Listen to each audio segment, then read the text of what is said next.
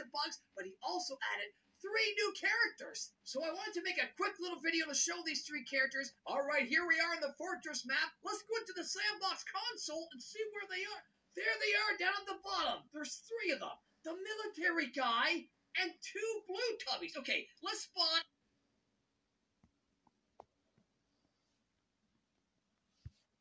Spawn a military guy and take a look at him.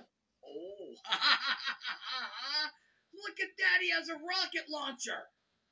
Oh, is he going to be hard to kill? I'm not sure. That's going to be cool. Okay, let's spawn this one. Oh, it's like a regular tubby with a knife. Oh, that's cool. Now, the third one is supposed to be Ron from the satellite station. This one is supposed to act like Dipsy. Let's see. Oh, and there's a chainsaw and everything. Oh, that's going to be like a boss.